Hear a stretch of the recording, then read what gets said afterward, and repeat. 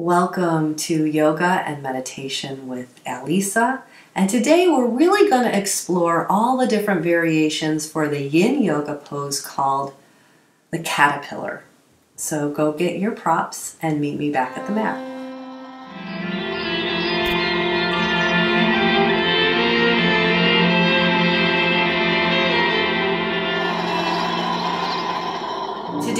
Going to do a deep dive focus exploration on the yin yoga archetype called the caterpillar. That's the caterpillar pose basically. And in yin yoga, we will be stretching and focusing the stretch on the hamstring muscle. That's the muscle that goes down the back of the leg. Skeletally, the focus in the hamstring um, stretch because you have to forward bend. To get that stretch in the hamstring, it requires a forward bend.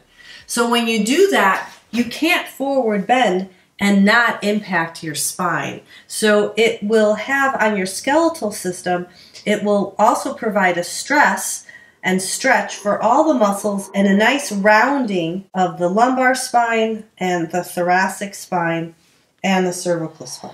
Caterpillar traditionally has your legs in front of you and you fold forward.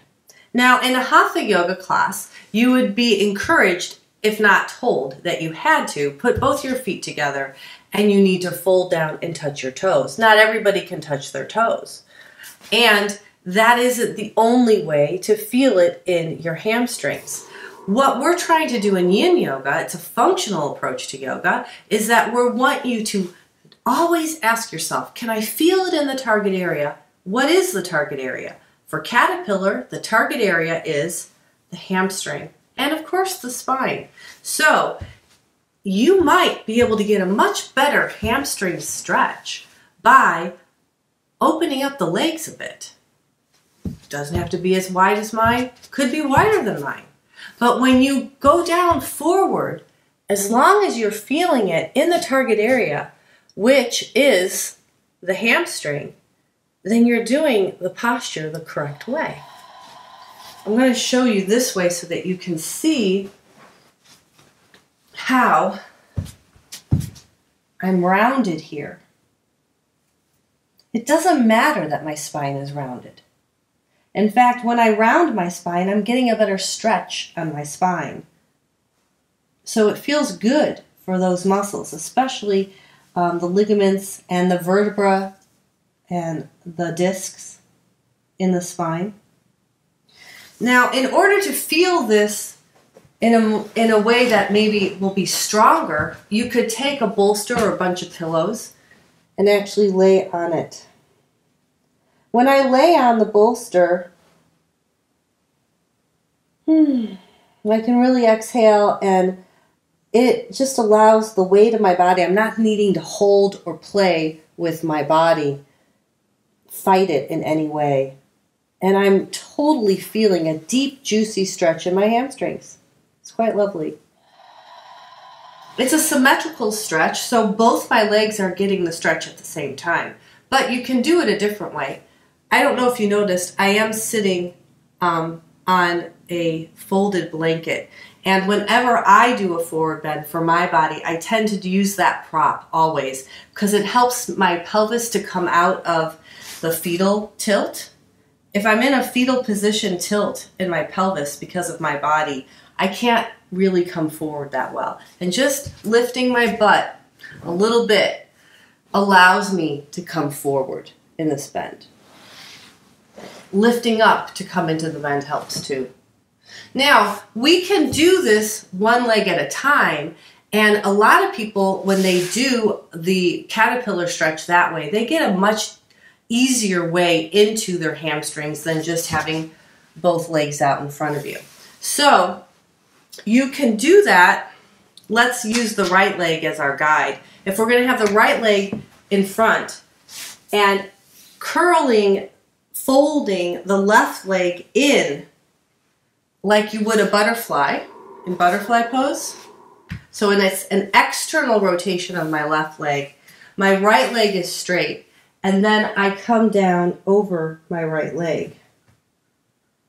And by doing this, I'm still rounded in the spine, so I'm still getting that beautiful stress, and especially in my lumbar spine, and more on my right side because my right leg is straight than my left. But that'll switch when we go to the other side. But I'm feeling the hamstring engaged. Again, you can use your props, and you don't have to go over the leg. You can come towards the middle as long as you feel it in the target area, which is the hamstring, you're doing the stretch correctly. Half frog is another option here. And Suzee and Paul Grilley, my teachers, have um, polled their students in teachers training and find that most people find this, this method of caterpillar as the best variation to stretch their hamstring and access the hamstring.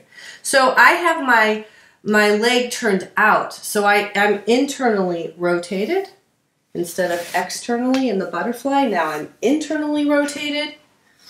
And that seems to bring my pelvis automatically tilting forward so I can stretch over that leg much easier. I don't need a prop at this point, but if I if I took one it would be fine.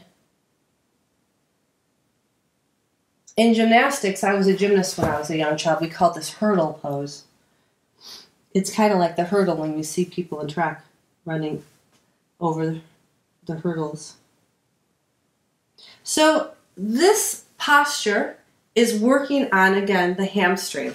Just for fun, I'm going to go over to the left side in the same, in the frog posture. You could try it in frog or in half butterfly. And I'm noticing that yes, I can I can access so much better with one leg than with two. But it feels a lot different on this side of my body than it did when my right leg was stretched out. I don't have anywhere near the capacity in my skeletal system to be able to fold. And my muscles feel a bit tighter through my back of my leg, the hamstring. And that's because every body is different and each side of our body is different as well. So you may feel it one way on the right side and completely different on the left side. And it, it doesn't really matter except for that you know that and then you can create the type of variation that works best for you. There's one more that I want to show you and that is to do half shoelace. So if you remember in the shoelace, we cross both the legs over each other. Well, this time we're going to keep, I'm going to cross the right leg over and I'm going to keep the left leg straight and then I'm going to fold forward. Now, it may appear to you that I'm really not moving that much, and I'm not. It doesn't look like I've mastered the pose, right?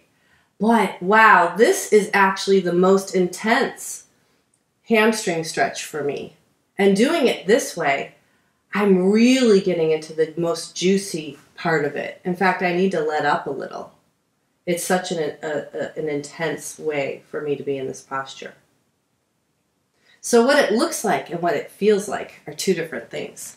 And that's the beauty of this type of yoga, of the functional approach to yoga called Yin Yoga, the Yin Yoga method. So today we did a deep dive into the caterpillar archetype, and that stretches the hamstring and it also stresses the lumbar spine, the thoracic spine, and the cervical spine. We did caterpillar, which was straight legs in front. We also did half caterpillar, where you had half butterfly or half frog, and then we did half shoelace. So explore, have fun, try them all out, notice the difference from right side to left side, and the next time you're in a yin yoga class that asks for you to stretch your hamstring or for you to do caterpillar, you now have a library of variations that you can choose from.